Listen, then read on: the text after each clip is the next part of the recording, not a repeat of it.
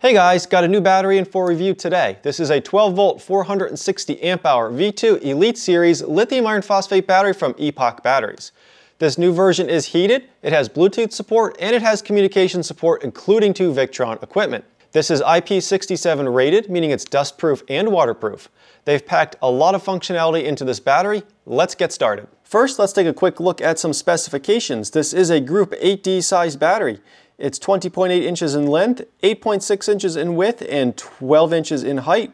It weighs in at 97 pounds. As we already stated, it's a 460 amp hour battery, that's 5,888 watt hours. It has a continuous charge current of 230 amps and a continuous discharge current of 230 amps. You can wire four batteries in series for a 48 volt system and you can connect up to 16 in parallel. Taking a look at the exterior of the battery, we have our main negative terminal and our main positive terminal and the bolts included are M8s and they have quite a bit of length to them so you can fit several cable lugs under there if you need to. We have a series of DIP switches for addressing. These are covered in detail in the manual. We have our on-off power button with a little rubber protector over it here to keep it clean and uh, dry. We have a vent, a pressure vent. On the left-hand side we have a little 4-pin connector that's going to be for the remote switch. On the right hand side we have two RJ45 connections with dust caps. The blue one is labeled Victron, that's going to be for the uh, remote display and any Victron related communications. The black one is for CAN communications and you'll use that one to connect multiple of these batteries together. On both sides we have a series of large bolt holes. They do sell a mounting bracket for this. You can use it to bolt it down to pretty much any surface. The lid for this case is held on by a series of Allen screws and they all have little blue marks which suggest somebody either torqued them or has quality checked all of them. Taking a look at the included items, we have our user's manual. We have the main communications cable here and this is the uh, remote display that's connected to it. And this includes quite the series of connections here. This one's labeled debug and there's two terminals on there. I'm not sure what that one's for. This says, uh, this looks like a CAN-based connector of some kind. Um, this one's labeled Victron, so this will go to our Victron equipment. And this one's labeled meter for the remote display. And we have the RJ45 connection that will go into our Victron uh, controller, I guess. We have a bracket and some hardware for mounting the remote display. We have a series of different size bolts for the battery terminals. And we have a very long cable with a remote uh, push button switch here. Before we do anything with this battery, they want us to run a firmware update first. I'm going to run through that process here at a high level. There is an entire document on their website that describes the firmware update that I would suggest you go and read before doing it yourself. Uh, you'll need to connect this remote meter because this meter is what actually has the Bluetooth support, so you can't connect Bluetooth without having this wiring harness connected. So I've got the RJ45 with the little uh, grommet thing here, and that's going into the port with the blue dust cover. Oh, and we see it beeped there, so it must have turned on. We have our battery monitored here. It's showing 12.6 volts and 4%. You'll want the app from the store that says Epoch Lithium Ion. There are two of them. This is the one you want. So once you open your app, it'll try to find your battery and just tap the on button to get connected. Then we can go to dashboard and we can see basic information about our battery. Again, 4%, 12.6 volts. On the cells tab, we can see a few properties there at the top. We have the average voltage, the voltage differential, which is the voltage between the lowest cell and the highest cell. We have uh, V low as the lowest cell and V high is the high cell. Now I am not sure why it keeps uh, flipping on and off there, but we do need to run the firmware update per their requirement before doing anything. To initiate that process, we'll go to the About tab, find the OTA button on the top right, and you'll tap and hold until you get a password prompt. The password is test, all lowercase, T-E-S-T. It'll prompt with some firmware selections. We'll need to run the EMS update first and then the BMS update. It's going to download your update. So you want to click the green start button one time. And there we go. So it's doing some stuff on the phone. And on the remote display, we can see it showing 2% as well. So it's looking like this is going to take a little while. I'm just going to set it down and I'll come back in a few minutes and see where we're at. It took about, uh, what's that, five minutes? And once it completed, our battery did restart on its own. So after waiting about 30 seconds, I'm clicking the back button. Running through this process again, tap and hold OTA. The password is test and confirm. And now I'm ready for the BMS update. This is the 12 volt 460 amp hour battery, so I'll want the first BMS option there. And the same deal as last time, I'll tap the start button and I'll just let it run here. All right, upgrade is complete. Now I do see the display here is still showing 65%, so I think part of it is actually still running. All right, I guess it's, oh, there it goes. I was waiting for it to restart. All right, and we should be updated. So if I click back here, uh, so now we can take a look at the cell information here and it's not flashing on and off like it was before. So yes, you definitely want to do the firmware update as the manufacturer suggests before you do anything else with your battery. All right, this battery has finished charging. I used my Ames 12 volt lithium iron phosphate rated charger. Uh, I have it on my AMREL capacity tester here, so I can go ahead and disconnect the charger at this point.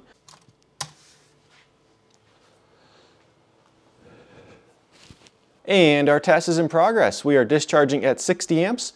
The limit of this AMREL electronic load is 800 watts, so that's pretty much the max rating of the E-load. And I'll leave this run until the BMS in the battery shuts off. The capacity test finished at 475 amp hours. Taking a look at the test report, we ran for 7 hours, 54 minutes, and 56 seconds. We started at 13.46 volts and we ended at 10.12 volts.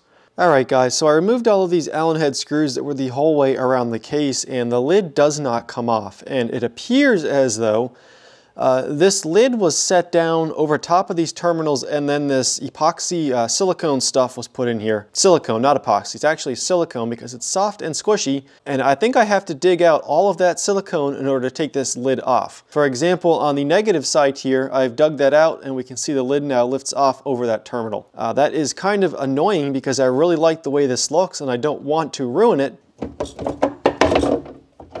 That is a little bit disappointing to have to dig out silicone to open the battery, but as I say in most of these videos, these are not designed to be opened or user serviceable. This battery is insane inside.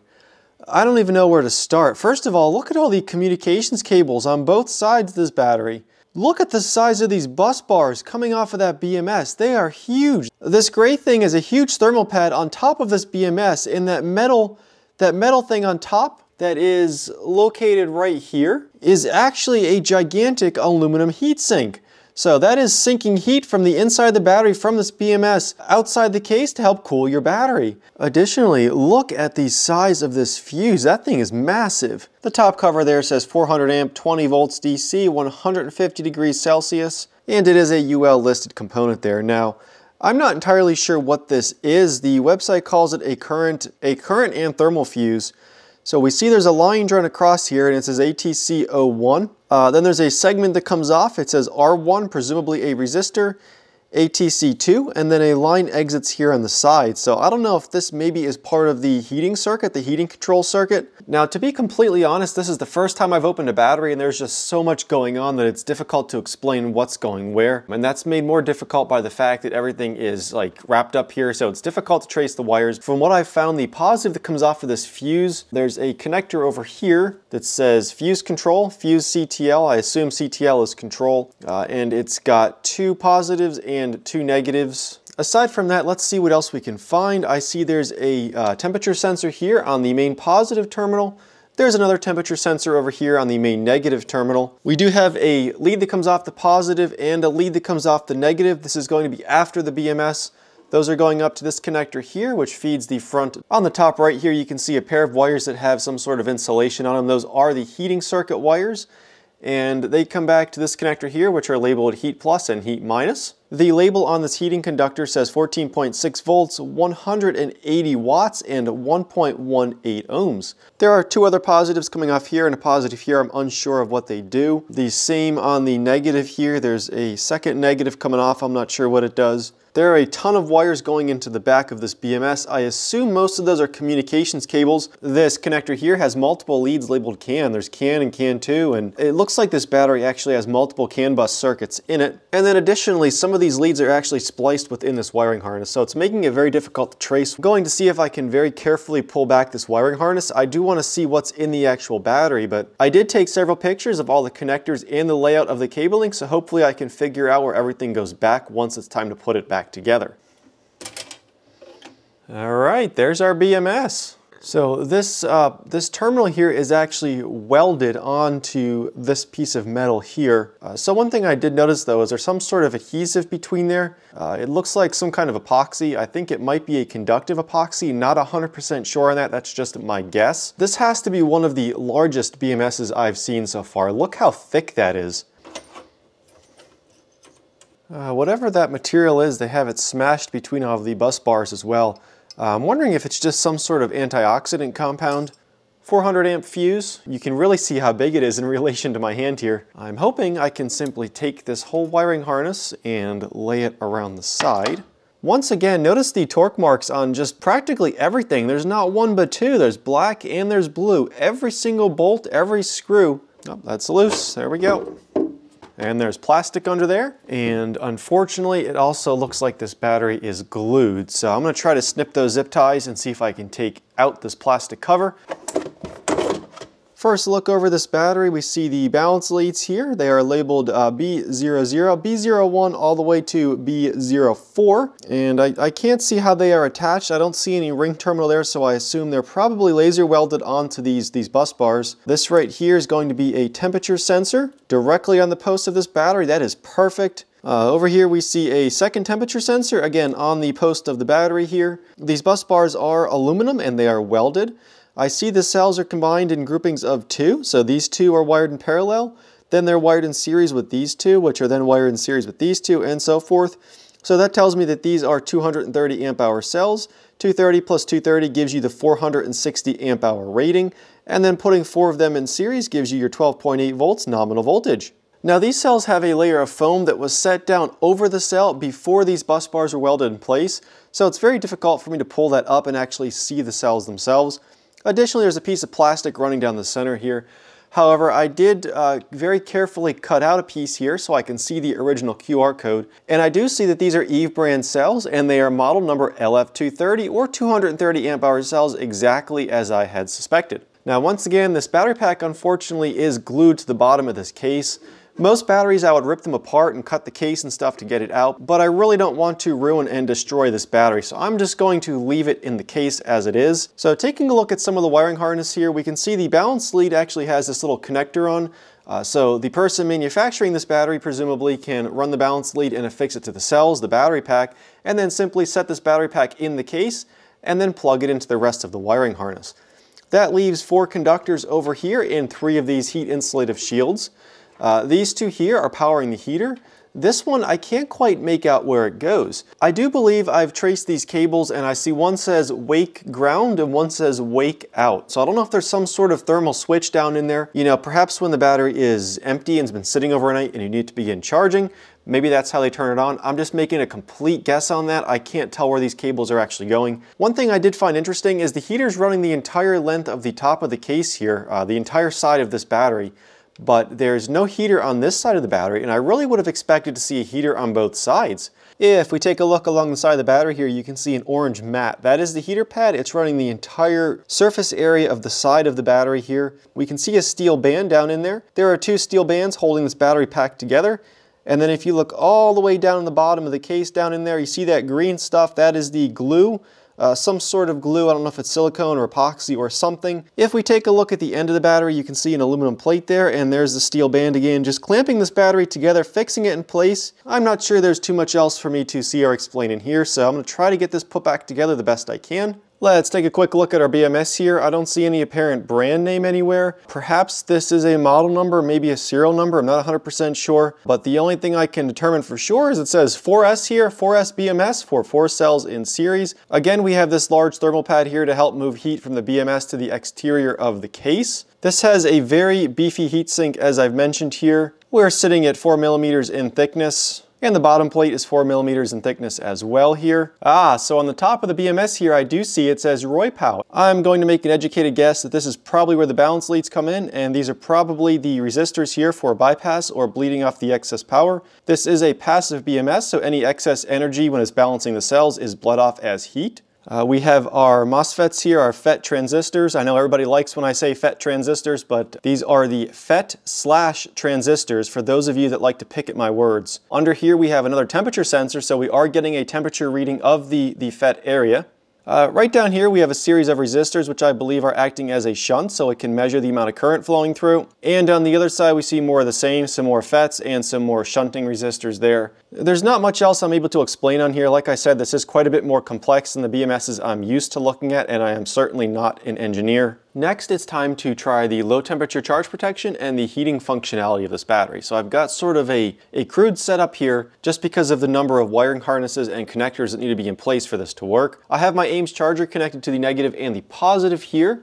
I also removed both of the temperature sensors from the battery because uh, once you put this whole thing back together, you can't get down in there with the free spray. We'll use this clamp meter here just so we can see the amount of current going in. I'll spray the sensors with a little bit of this computer duster. Uh, typically goes well below freezing, so it's a good way to test. We are charging at 54 amps. And we do have a reading on this display that says CLT, which I thought was control originally, but maybe it means charge low temperature. I'm not sure. Uh, but it is still charging, so maybe there's a delay here.